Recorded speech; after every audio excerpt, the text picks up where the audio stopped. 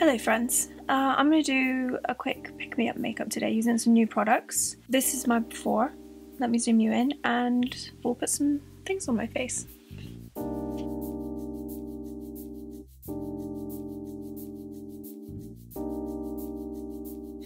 If you are new here, uh, welcome, my name is Rhian. I make videos sometimes, not so much lately, for various reasons. Where did the eyelash come from? But on the whole, everything is vegan, cruelty free. Uh, I like to do a little mental health stuff sometimes. It just depends.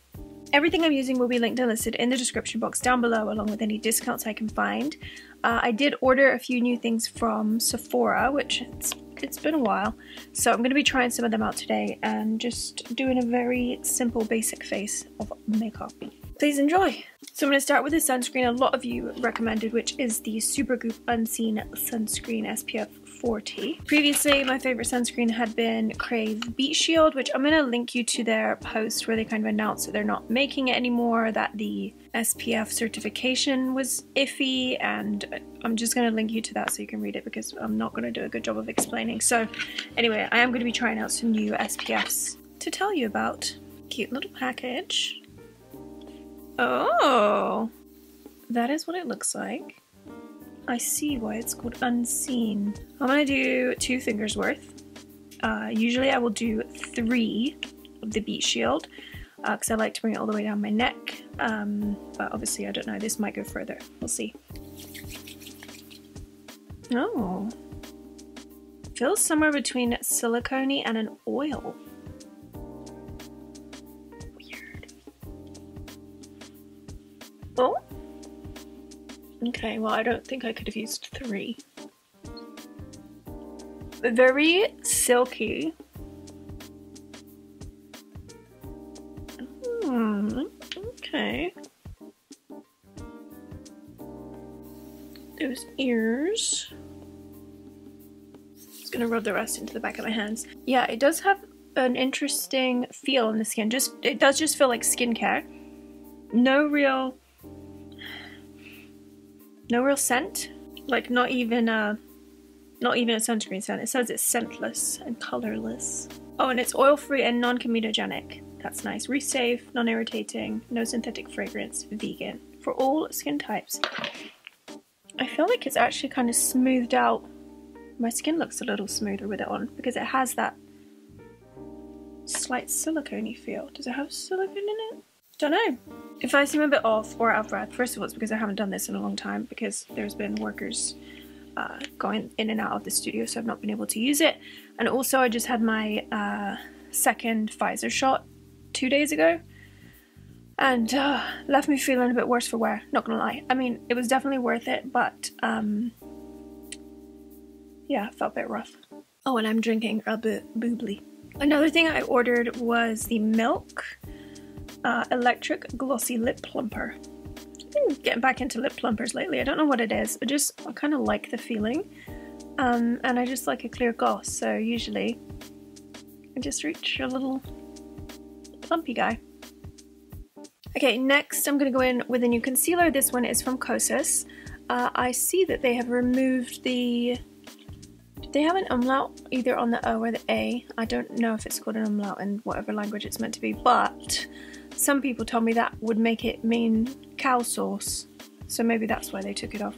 Uh, I tried this the other day. The shade is 3.5. Cute packaging. It's much more yellow than I had anticipated, which is just one of the... Uh, it's just what happens when you order things online, right? It's kind of hard to tell. Let me zoom you in some more. Okay, so then you can kind of see the base that that sunscreen left. I actually really like the sunscreen by itself. So a little here. Because this is um, quite a nice yellow base tone, uh, it's going to work well on redness, which I appreciate. And I did like it when I used it the other day. I felt that it lasted quite well. It didn't um, kind of crease or um, break up throughout the day. To blend that, going to be using one of the Eco Tools sponges, which I do like. My only wish is that they went for just a regular kind of egg shape because I personally like having the pointy part. This does obviously have pointy edges, but it's not the same. It's not the same in my eyes. Very nice natural finish. I, um, I'm a fan.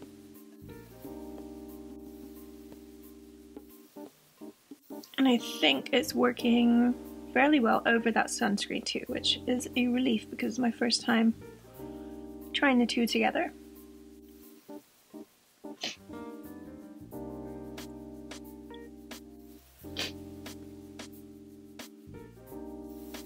Lovely. Here's an oldie but goldie. The UOMA um, Double Take Sculpt and Strobe Stick. This is in the shade White Pearl, which is perfect for me. I love it. It blends well with everything. Um, the color is delightful. Both colors are delightful. Um, it's wondrous. Hmm.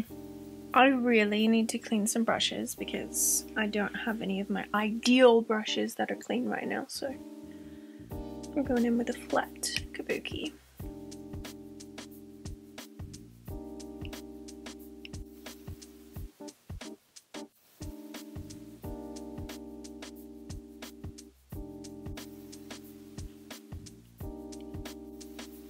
My nose is whistling and it's making like a cuckoo sound. You know? Do you have cuckoos in America? I feel like it's a classic British wildlife noise. I'm gonna use a little bit of one of the new Bite um, whipped blushes. Daycation Whipped Blush. This is in Melon Mojito. I believe all of them do have a slight shimmer through them, so to me it's very much a summer blush because it's going to be like blush highlight all in one kind of deal. Um, I do really like the formula. I love the packaging. I think it's adorable. Just has like a little squeezy, squeezy guy on the end. I am hopeful that they will bring out uh, matte shades, ones with no shimmer, because I think that would be ideal. You could probably squish this straight on your cheek if you want to, but I'm going to put a bit on the back of my hand. It has kind of a moussey texture, and it does they do dry down, so you're going to want to work with it fairly quickly. Look at me using my fingers. But it is, this is like such a summer product, in my opinion. Glowy, nice kind of pinky flush. And they do have a bunch of other shades. but This is just the only color that I have. Melon Mojito. I'll try and show you what this makeup looks like in daylight over on Instagram, just in case you want to see, because it is going to vary from like studio lighting to real life. But hopefully you can pick up the nice glow, and everything is working really well together on top of that sunscreen so far, so that's great. But if you happen to be watching this, please release matte shades. It would be, it would be a dream. Okay, um, let's do some brows so I feel a bit more normal. One product I did order that I'm not going to be using um, right now is the Kosas Air Brow Fluff and Hold Treatment Gel. I didn't realize there were treatment gels. Supports full brow health, apparently. Anyway, I got clear and I also got a color, but I'm going to be using the colored one today. But if you are lucky enough to have nicely, naturally pigmented brows, you might want to try this one. How cute is the packaging? Airbrow. So that's what it looks like. Dead cute. The one I'm going to be using, uh, that was the clear packaging by the way, and then I also got a tinted one too in soft brown. Tried this the other day I do like it, um, but it's not as strong of a hold as some you might be used to. So like I'm used to using the Linda Hallberg one, which is like they're frozen in place. That's what that looks like, it's pink packaging instead of the kind of clear iridescent one. So anyway, if you do prefer more of a like soft, fluffy hold brow versus one that's like very stuck in place, I think it's just going to be personal preference. Um, you may prefer this one. It still does um, tint them really nicely and gets them nicely fluffed. It's just a different product. And I do like this color for me, soft brown.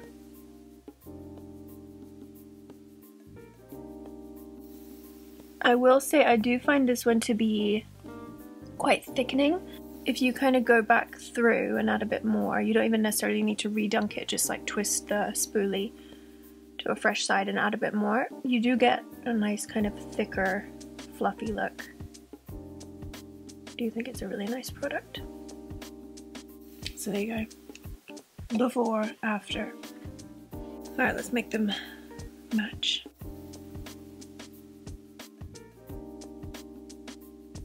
Okay, consider me fluffed. Now I'm going to let that dry a little bit before I go in with the brow pencil that I got from them. Let's do a little setting. I bought um, the Kosas Cloud Set, which is their setting powder, and then I also got the Sunshow Moisturizing Baked Bronzer, which I did try the other day, and again, does have like a slight sheen through it. I wouldn't necessarily say you can see like glitter particles, but like there's something a little glowy there. Um, so this is more something I would like dust over the skin versus like to shape the face, you know what I'm saying? This is Cloud Set and I got the color Feathery. Ooh, makes me think of like feathery strokery. Sheer light medium. Just gonna get a bit on a fluffy brush. And it does give quite a nice natural matte kind of finish. I'm just gonna do it in like some targeted areas would like to try this out some more, but I, I have liked it so far. And then let me show you the bronzer, which I got in the color Light Soft Bronze. It's very powdery. Um, this is the packaging. So you would want a light dusting. Do you know what? You can kind of see a very fine shimmer, I tell a lie. So keep that in mind. I'm going to try and do just a light dusting maybe across the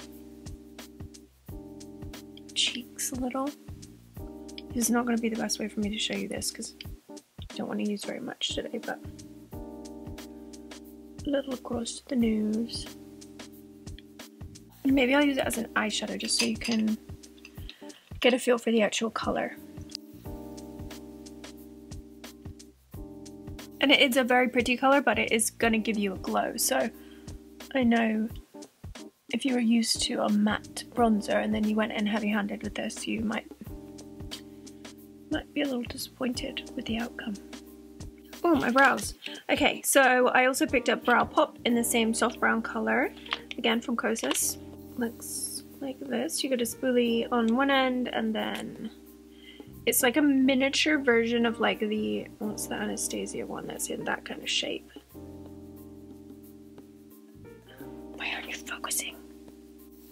That's better. Do you see what I mean? It's like a, almost like a skinny triangle shape. So I'm just gonna fill my brows in a little with this.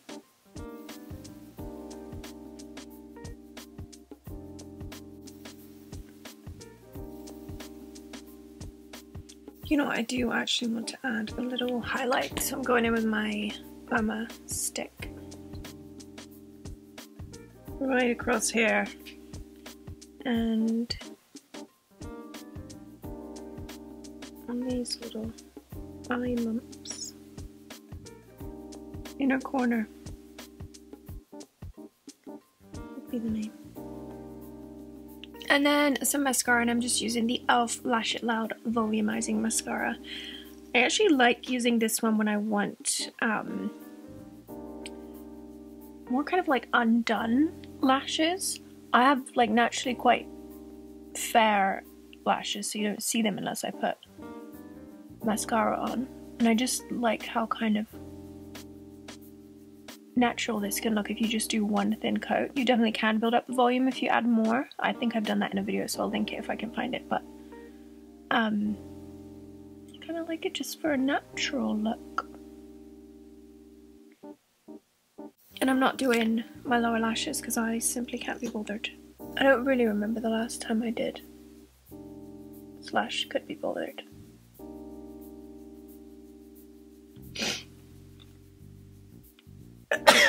Nobody else comes down here, so I did just allow myself to sneeze freely. Always when I don't want to sneeze is when I sneeze. When I really wanted to sneeze. I just can't do it. I'm kidding. That was a silly thing to say. I have some mistakes to correct there in a minute once it's dry. So for now I'm going to do my lips. So I just blotted off that gloss a little bit.